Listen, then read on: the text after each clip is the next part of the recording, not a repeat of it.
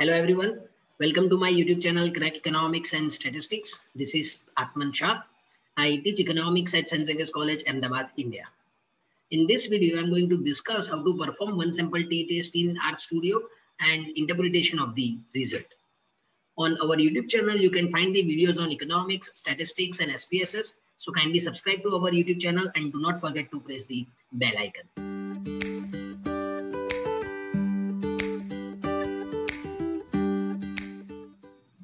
Let's begin with the idea of one sample t-test. Here I have written one sample t-test is used to compare the observed mean with the given population mean. So in one sample t-test, we are going to compare the uh, sample mean with given population or a hypothetical mean. So suppose uh, I have this data with me. Let me share my uh, CSV file. So we have consumption expenditure and gender. We have two variables.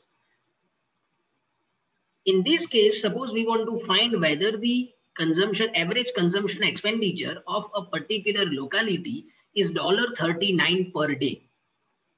So suppose we have collected the data from that locality. So uh, we have 21 observations here and now we want to compare whether this sample is taken from the population which has uh, average consumption expenditure of $39 per day.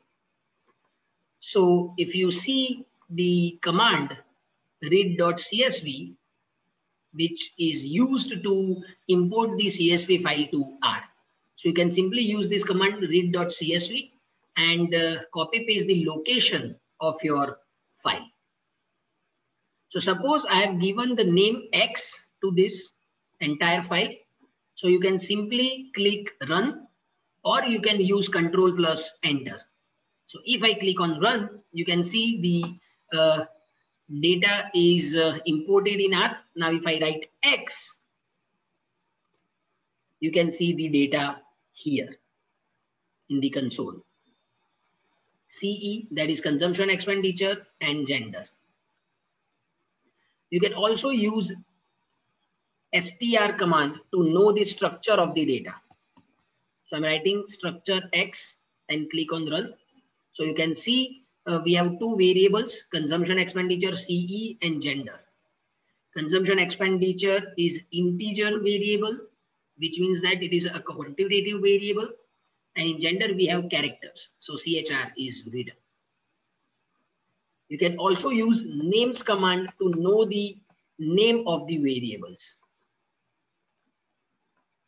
So the outcome is CE, that is our first variable, consumption expenditure, and gender, which is our second variable.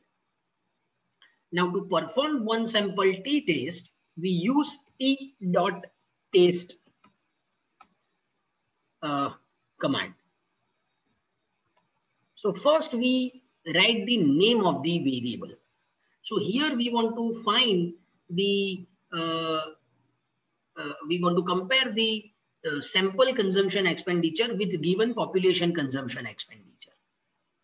So our variable is consumption expenditure, which is the part of the entire file called X. So I'm writing X dollar CE, comma now we are going to write the uh, given hypothetical mean or given population mean. So it is mu, mu is equal to 39. Comma, confidence interval. So confidence dot level is equal to 0 0.95. So our alpha is 0 0.05. And simply click on run. You can see the output in console. So here it is written one sample t-test. Your data is X dollar CE, which means that we are using this consumption expenditure variable. T statistic is minus 3.9906. Degree of freedom is 20, which is n minus 1. So we have 21 observations. So degree of freedom is 21 minus 1, that is 20. P value is 0.0007191. Now, this p-value is less than 0.05 and therefore we reject the null hypothesis. Now, what is the null hypothesis in this case? The null hypothesis is the average consumption expenditure is $39 per day against the alternative hypothesis of uh, average consumption expenditure is not equal to $39 per day. So you can see the alternative hypothesis is written here. True mean is not equal to 39. So since this p-value is less than 0.05, we reject the null hypothesis and we can say that the average consumption expenditure is not equal to $39.39 per day. You can see the sample mean is 30.80952. So this is the way we can uh, use one sample t-test. But suppose we want to use uh, uh, we want to uh, use the one-sided one sample t-test. So for that, we have the option of alternative uh, hypothesis. So we can write t dot test x dollar CE mu is equal to 39 alternative hypothesis is equal to greater and confidence level is equal to 0 0.95. Now you run this uh, command. So this is our result. One sample t-test data is x dollar CE. P value is minus 3.9906. Degree of freedom is 20. Here you see p value is 0.9996. And alternative hypothesis is true mean is greater than 39. So what is null hypothesis in this case? The average consumption expenditure is less than $39 and alternative hypothesis is uh, average consumption expenditure is greater than 39. Since this p-value is higher than 0.05, we fail to reject the null hypothesis. And we conclude that the average consumption expenditure is less than $39 per day. And you can easily see this mean, sample mean or average consumption expenditure of this sample is 30.80. Similarly, you can write uh, less here